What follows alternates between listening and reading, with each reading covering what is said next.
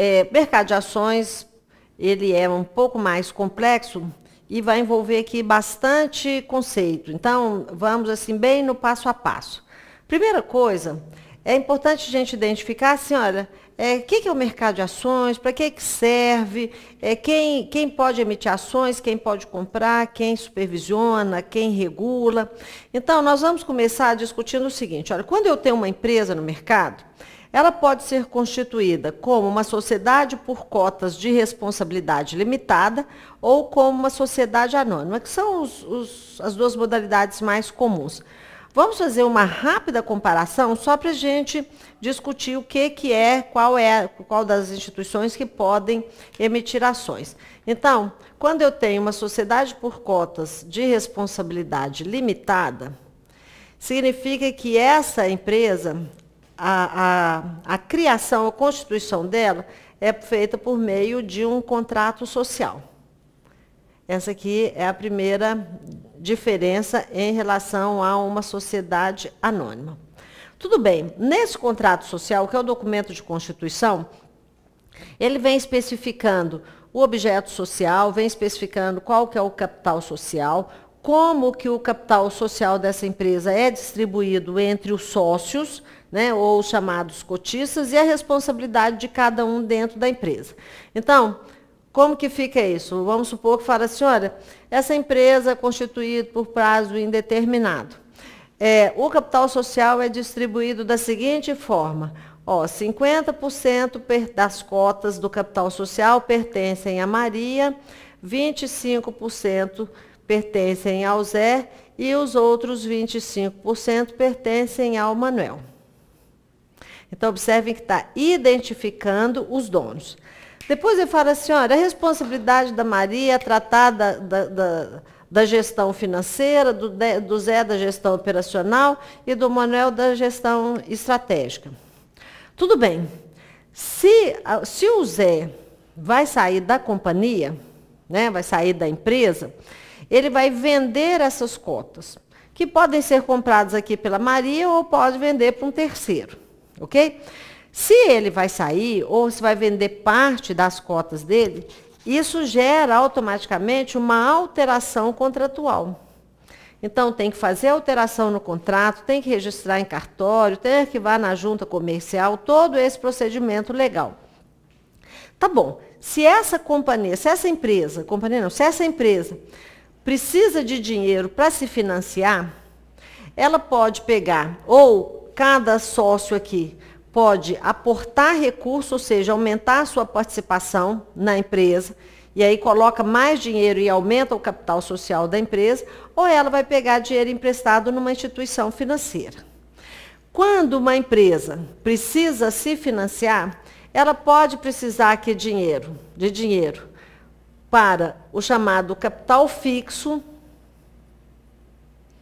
ou pode precisar de recurso para o chamado capital de giro.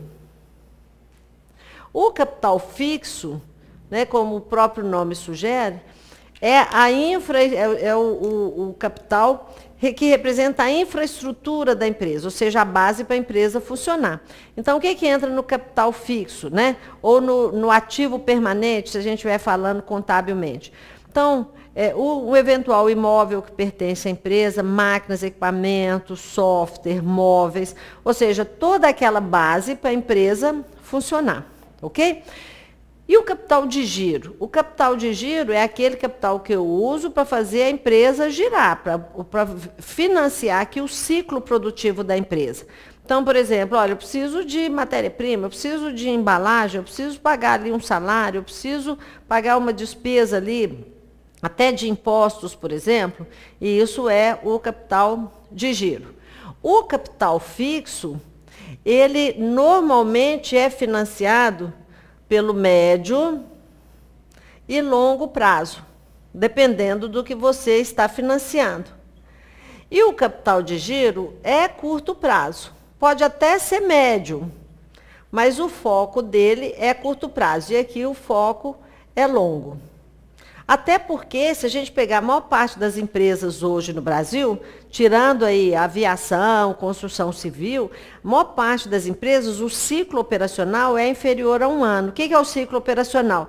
É o período que envolve comprei matéria-prima, produzi, estoquei, vendi, dei prazo, ah, fech, recebi, né?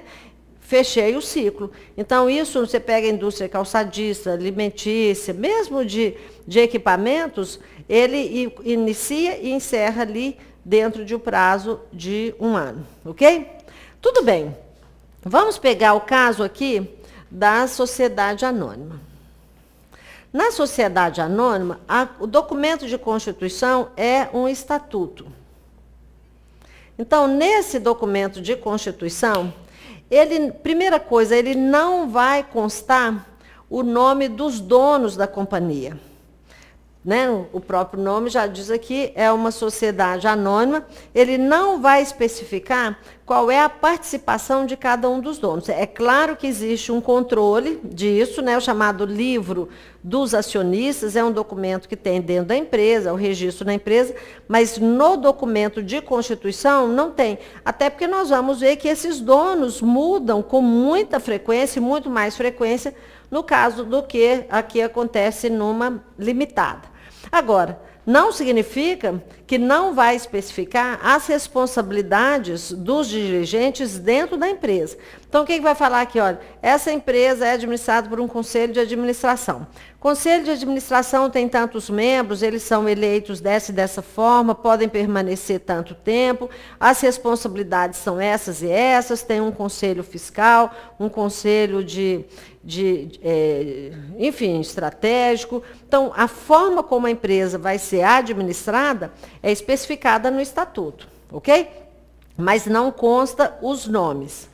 Tá bom. Porque aí, toda vez que muda aqui os donos da empresa, isso não gera uma alteração no estatuto, como acontece lá no contrato social. Tá bom? Bom, nós temos aqui, na sociedade anônima, nós temos dois tipos. Eu tenho a sociedade anônima de capital fechado e tenho a sociedade anônima de capital aberto. Todo concurso pergunta, e inclusive isso normalmente até vem detalhado no edital, diferença entre sociedade anônima de capital aberto e capital fechado. Então, aqui nós vamos ver o que, que isso significa. Não é difícil deduzir, porque quando eu falo que é de capital fechado, né, ou de capital aberto, isso significa se o acesso ao capital daquela empresa está liberado para o mercado ou não. Então, vamos abrir aqui um outro parênteses. Vamos supor que aqui eu tenha um conglomerado. Conglomerado é quando eu tenho um conjunto de empresas que são distintas, mas que têm ali uma propriedade ou um controle comum. Então, vamos pegar aqui, por exemplo, é, vamos pegar o Banco do Brasil, conglomerado do Banco do Brasil. Eu tenho aqui o banco, o 001, tem o BB Corretora, BB Distribuidora, tem o BB Seguros, tem o BB Investimentos. Ou seja, cada um aqui tem um CNPJ distinto, mas todos eles integram o mesmo grupo. Tá bom, e eu tenho aqui o mercado. Quem está no mercado? Os potenciais investidores. Tudo bem, Cada é, empresa dessa, se é uma sociedade anônima, ela vai poder emitir ações. Daqui a pouco a gente vai falar o que, é ação, o que, que é uma ação. Vamos supor que eu tenho aqui várias empresas dentro do grupo, A, B, C, D, E. Vamos supor que a empresa D seja uma sociedade anônima, mas ela é de capital fechado. O que, que isso quer dizer? Quando ela emitir ações, o acesso às ações dessa companhia vai ficar restrita aqui ou aos investidores dentro do grupo, ou um grupo de investidores, pode ser fora aqui do conglomerado, mas que vai ser, vão, esse, esses investidores vão ser especificados. E só eles teriam direito de comprar ações dessa companhia. Aí nós, nós não vamos nem ficar sabendo, porque o acesso é fechado, ele não precisa divulgar. Então, o que é uma companhia de capital fechado? É aquela em que as ações não são disponibilizadas pelo mercado. O acesso é restrito.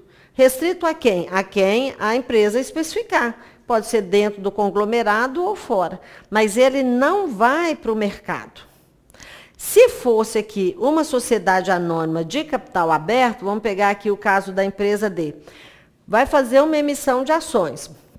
Tudo bem, ela pode até vender ações para outras companhias do grupo, não tem problema não.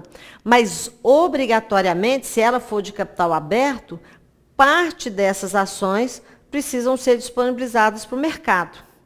Então, significa que ela é de capital aberto, o acesso ao, ao capital é, não é restrito, né? ele é aberto para o mercado, mesmo que seja uma fração pequena, mas nós vamos poder comprar e vender essas ações, que na maior parte das vezes vai ficar aqui na bolsa.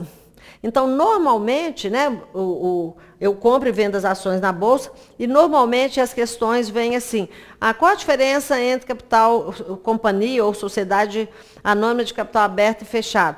Ó, as de capital aberto ou companhias abertas são aquelas que têm ações negociadas em bolsa ou que têm ações ofertadas ao público. Então, nós, né, os mortais em geral, vamos poder comprar ações daquela companhia.